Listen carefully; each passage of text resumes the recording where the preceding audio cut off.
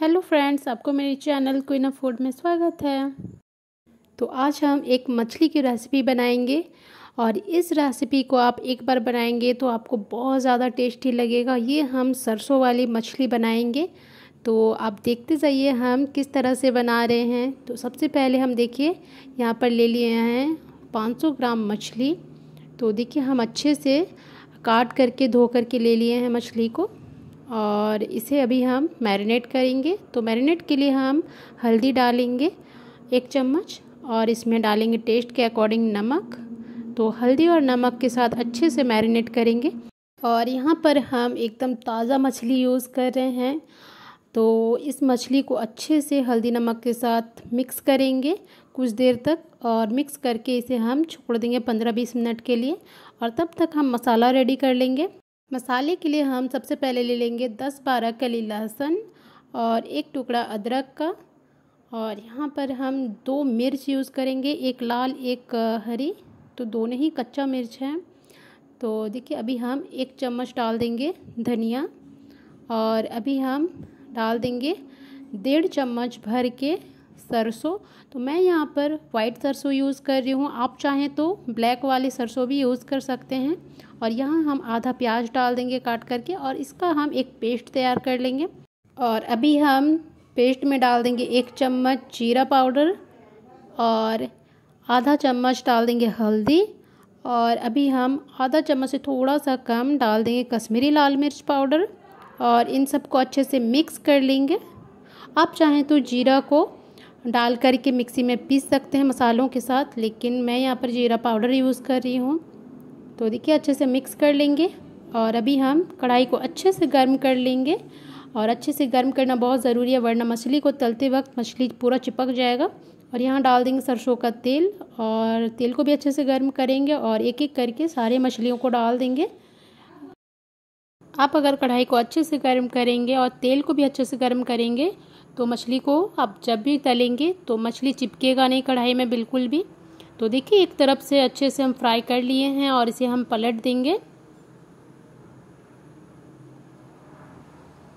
तो देखिए, मछली कितने अच्छे से एक तरफ़ से फ्राई हो गया है। एकदम लाल करके हम फ्राई कर लिए हैं और अभी हम दूसरी ओर से भी अच्छे से फ्राई करेंगे।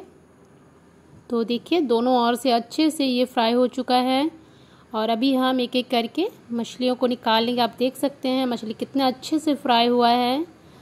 तो हम अभी सारे मछली के पीसेस को निकाल लेंगे कढ़ाई में से, जितने हम एक बार में तले हैं। तो आप चाहें तो पूरा डीप फ्राई भी कर सकते हैं मछलियों को। तो देखिए, अभी हम बाकी जो मछली के पीसेस हैं, उसको हम तल लेंगे। और यहाँ पर मैं एक टमाटर और एक प्याज को एकदम बारीक काट करके ले ली हूँ। और अभी देखिए मछलियों को भी हम अच्छे से तल लिए हैं सारा और अभी वही कढ़ाई में और उसी तेल में थोड़ा सा और मैं ऑयल ऐड कर दी हूँ, दो तीन चम्मच और उसमें हम डाल देंगे आधा चम्मच जीरा और एक लाल मिर्च और प्याज को डाल देंगे। तो लाल मिर्च को बस फ्लेवर के लिए मैं यहाँ पर डाली हूँ, उसको फिर निकाल लूँगी। यहाँ पर कुछ देर तक मैं प्याज को भूनूँगी। और देखिए, अभी हम लाल मिर्च को निकाल लेंगे। बहुत ज़्यादा देर तक रखने की ज़रूरत नहीं है इसे। तो इसका फ्लेवर बस तेल में जितना आने का था वो आ चुका है। तो अभी हम प्याज को फ्राई कर लेंगे। कुछ देर तक थोड़ा लाल कर लेंगे प्याज को। और अभी हम डाल देंगे पेस्ट जो तैयार करके रखे थे मसालों का।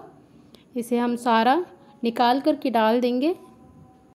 और अभी तक अगर आप वीडियो को लाइक नहीं किए हैं तो वीडियो को लाइक कर दीजिए और जो नए हैं, वो चैनल को सब्सक्राइब ज़रूर कीजिएगा।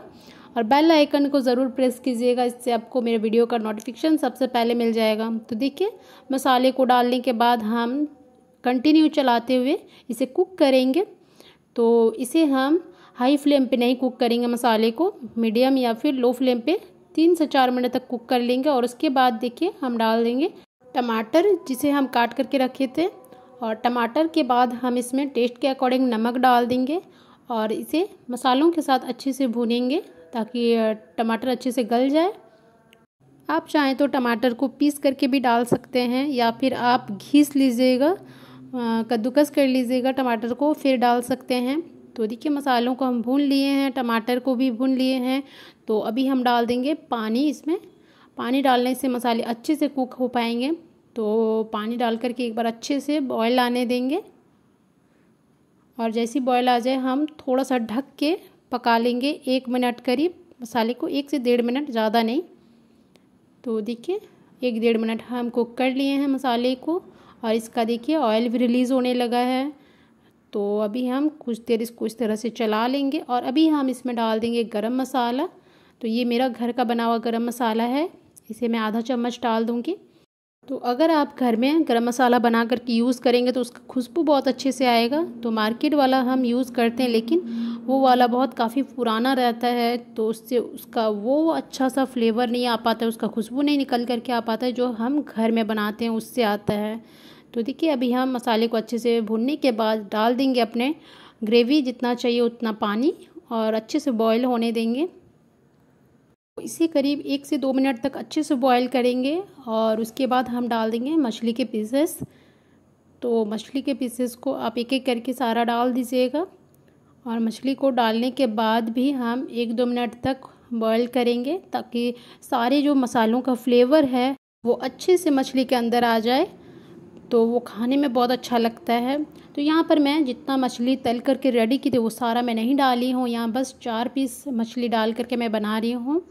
तो देखिए बॉईल करने के बाद ये बन करके बिल्कुल रेडी है। इसके ऊपर हम डाल देंगे गार्निशिंग के लिए धनिया पत्ती और ये बिल्कुल रेडी है खाने के लिए।